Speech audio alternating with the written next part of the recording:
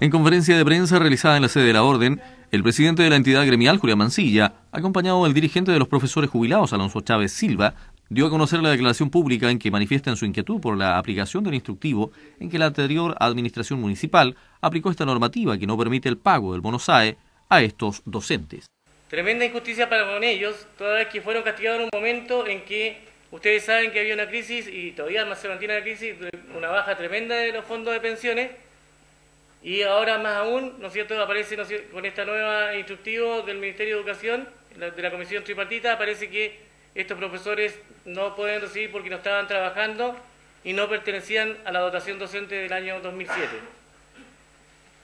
Situación que evidentemente marca un, hito de insensibilidad de la autoridad, marca un hito de, de, frustración de ellos mismos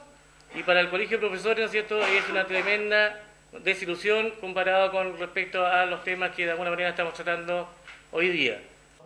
La ley a que hace alusión permitió al exalcalde declarar vacantes las horas de más de 70 profesores en el mes de noviembre de 2007. Producto de esta insensible medida tomada por la administración de Barcasec, estos 70 profesionales hoy no pueden recibir el bono SAE, ya que según instructivo, los docentes debieron pertenecer a la dotación a diciembre de 2007 y diciembre de 2008, agregan en esta declaración.